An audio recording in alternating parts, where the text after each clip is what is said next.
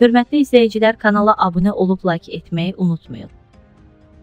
Nazirlər Kabineti Bakı şəhər Baş Səhiyyə İdarəsinin tabeliyində yaradılmış xüsusi ambulator tibb məntəqələrində yeni növ koronavirus infeksiyasına yoluxmuş xəstələrə ambulator poliklinik yardım göstərən tibb işçilərinin əmək haqlarına müddətli əlavənin müəyyən edilməsi barədə Azərbaycan Respublikası Nazirlər Kabinetinin 2020-ci il 23 iyul tarixli 262 nömrəli qərarında dəyişiklik edib.